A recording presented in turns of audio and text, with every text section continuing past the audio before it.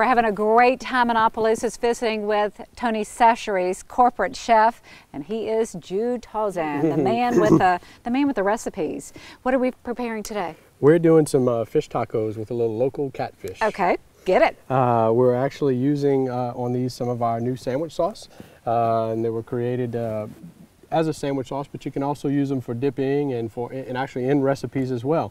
Uh, today we're using the Creole sandwich sauce. Uh, and on the catfish fillet that I have here, we are going to season that uh, with our uh, spice and herb seasoning. Mm -hmm. It's kind of um, like a, a, blackening seasoning. That's usually what I use it for if I'm, uh, if I'm doing it on a, uh, a, a black iron pan or, or, or a skillet. Uh, it gives it a good bronzing rather than, than actually blackening. It has a, a, lot of good flavor to it.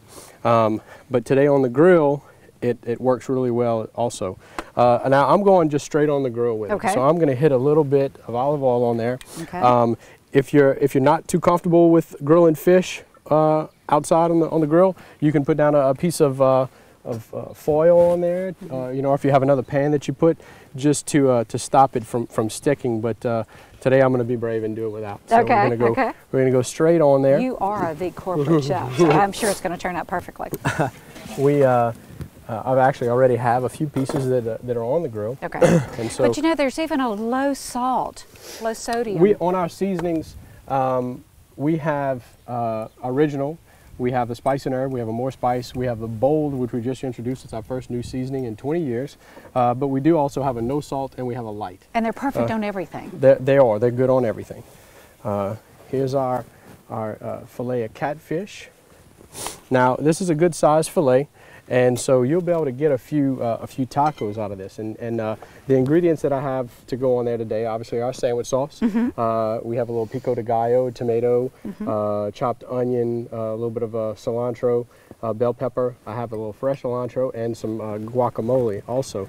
But you can be creative and add whatever you like to it. So this big fillet, I'll get four four tacos out of it. You know, and it's fun to have all four of these on hand.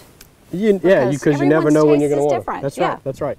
Uh, let's see. We're going to do a little Creole first on here. Piece of fish. If you like cheese, uh, you can do a little shredded cheese on there as well. And this is perfect for the weekend because, again, it's all outdoors. There's no heating up the kitchen. Everyone's going to rave. Absolutely. What about recipes in the website? We have a ton of recipes on our website. It's www.tonychachere.com. Uh, and you can go to that, find recipes, you can buy products, ask us questions, uh, look at our blog. It's a great website. And, and you've got Facebook also. That's right, absolutely. Well, certainly pick up a bottle of this in your local favorite grocery store. You can get it anywhere.